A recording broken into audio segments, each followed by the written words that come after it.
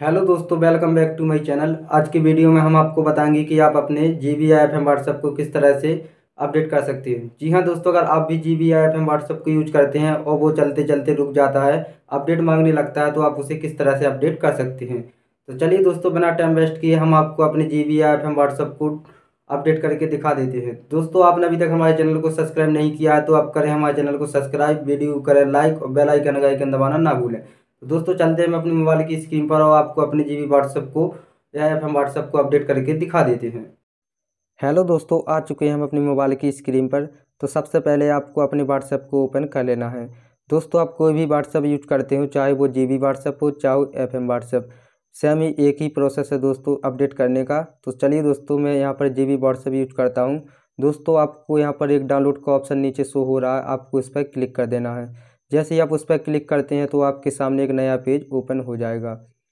तो दोस्तों, जैसे ही मैंने उस पर क्लिक किया तो मेरे सामने एक नया पेज ओपन हो गया है।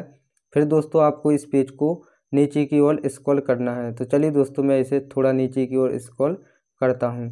दोस्तों, आपको थोड़ा नीचे की ओर और स्क्रॉल करते जाना है। फिर दोस्तों, आपके सामने यहाँ पर दो ऑप्शन आपको शो हो जाएँगे। यहाँ पर एक डायरेक्ट डाउनलोड, एक मिर्रो डाउनलोड। तो दोस्तों, आपको यहाँ पर डायरेक्ट डाउनलोड का जो फ़र्स्ट ऑप्शन आपको शो हो रहा है, आपको उस पर क्लिक कर देना है। जैसे ही आप उस पर क्लिक करते हैं तो आपको यहाँ पर डाउनलोड एनी का एक ऑप्शन शो हो रहा है, आपको उस पर क्लिक कर देना है। फिर दोस्तों, आपको यहाँ पर एक डिटेल का ऑप्शन शो हो रहा है, आपको डिटेल वाले ऑप्शन पर क्लिक कर देना है।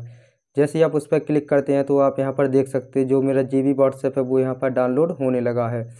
तो दोस्तों, मेरा जो व्हाट्सएप है जी बी व्हाट्सएप वो यहाँ पर डाउनलोड हो चुका है, आपको इस पर टैप करना है। तो चलिए दोस्तों, जैसे ही हम यहाँ पर टैप करते हैं तो आपके सामने एक अपडेट का ऑप्शन शो हो रहा है। आपको अपडेट वाले ऑप्शन पर क्लिक कर देना है। तो मेरा जो जे बी व्हाट्सएप है, वो यहाँ पर थोड़ा रनिंग होगा और आपको यहाँ पर थोड़ा इंतज़ार कर लेना है, जब तक मेरा व्हाट्सएप यहाँ पर रनिंग हो रहा है।